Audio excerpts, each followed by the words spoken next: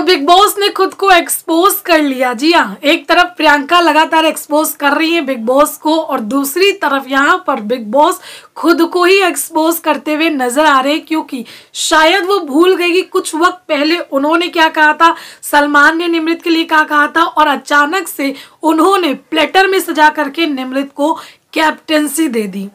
जो पिछला वाला नॉमिनेशन टास्क हुआ था, उसमें यहाँ पर जो टास्क डिज़ाइन हुआ था नॉमिनेशन टास्क उसमें बिग बॉस ने खुद निमृत को लॉस्ट कैटेगरी में रखा हुआ था।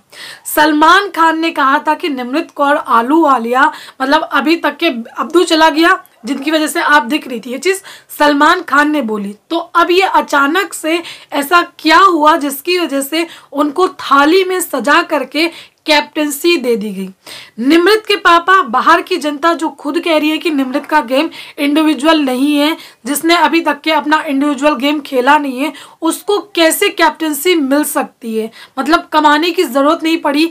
पहले दिन जब वो एंट्री करी थी, तब भी कमाया नहीं। और अब जब ये जो सीज़न है ख़त्म होने पर आया है, आखिरी पड़ाव है, तब भी आपने बाकायदा उनको कैप्टनसी हाथों में दे दिए ताकि वो टिकट टू फिनाले वीक जीत सके।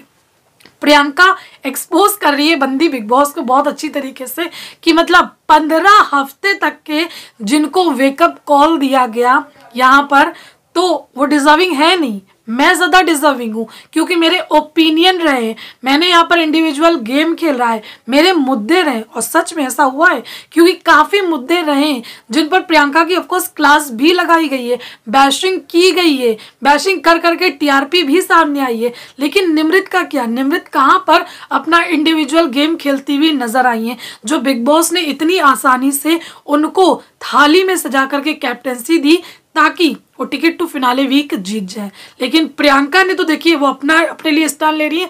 यहाँ पर उनके दोस्त जो कि निमृत के दोस्त हैं, मंडली के मेंबर्स हैं, वो भी निमृत के लिए अग्री नहीं कर रहे हैं। कहीं ना कहीं वो बोलना चाह रहे हैं, लेकिन दोस्त है दोस्त है दोस्त है, दोस्त के लिए बोल नहीं पा रहे।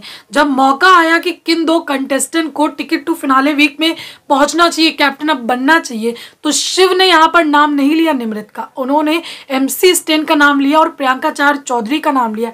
एमसी स्टेन ने शिव ठाकरे का नाम लिया। सुम्बुल तोकीर ने भी खुद का नाम लिया और यहाँ पर शिव ठाकरे का नाम लिया।